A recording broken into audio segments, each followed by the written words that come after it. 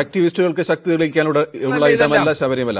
സംരക്ഷണം ഭക്തർക്ക് മാത്രം. ദേവസ്വം മന്ത്രി വ്യക്തമാക്കുന്നു. ഇപ്പോൾ പ്രതിപക്ഷ പ്രതിനിധിയും ദേവസ്വം ബോർഡും അല്ല അന്ന് തന്ത്രികളും ഒക്കെ വന്ന സന്ദർഭത്തിൽ അന്നെന്താ പറഞ്ഞുകൂടാത്തത്? അപ്പൊ ബോധപൂർവമായി ശബരിമലയെ ഒരു കലാപഭൂമിയാക്കാനാണ് ആർ എസ് എസും ബി ജെ പിയും സി പി എമ്മും ശ്രമിച്ചുകൊണ്ടിരിക്കുന്നത്. സി പി എമ്മിന് ഇതിനകത്തൊരു വലിയ നിഗൂഢമായ ഒരു അജണ്ടയുണ്ട്.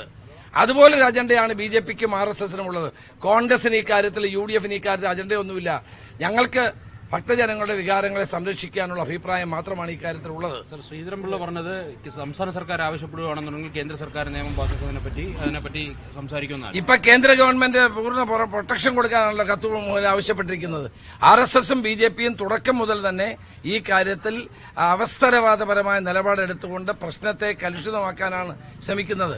ഞങ്ങൾ പ്രശ്നം ഉണ്ടാ- പ്രശ്നം ഉണ്ടാകരുതെന്ന് ആഗ്രഹിക്കുന്നവരാണ്. അതുകൊണ്ടാണ് ഞങ്ങൾ ഡയറക്റ്റായ ഒരു സമരത്തിന് പോയില്ല. ഞങ്ങൾ ഗവൺമെന്റിനോടും ദേവസ്വം ബോർഡിനോടും ആവശ്യപ്പെടുന്നത് സമാധാന അന്തരീക്ഷം നിലനിർത്തണം. അവിടെ കോടിക്കണക്കിന് ഭക്തജനങ്ങൾ വരുന്നതാണ്. കേരളത്തിൽ നിന്ന് മാത്രമല്ല കേരളത്തിന് പുറത്തു നിന്നും കോടിക്കണക്കിന് ആളുകളാണ് ദർശനത്തിന് വരുന്നത്. അവരെന്തിനാണ് ഉപദ്രവിക്കുന്നത്? അനാവശ്യമായി അവിടെ പ്രശ്നം ഉണ്ടാക്കുന്നത് എന്തിനാണ്? ശബരിമലയുടെ ഒരു സാങ്ക്ടിറ്റി ഒരു പവിത്രതയും അതിന്റെ ഒരു ഒരു പ്രസിദ്ധിയും എല്ലാം ഇല്ലാതാക്കാനുള്ള ഒരു ഗൂഢമായ നീക്കം ഇതിന്റെ പിന്നിലുണ്ടോ എന്ന് സംശയിക്കേണ്ടിയിരിക്കുന്നു. അതുകൊണ്ട് സമചിത്തത സർക്കാർ ഇക്കാര്യത്തിൽ കാണിക്കണം.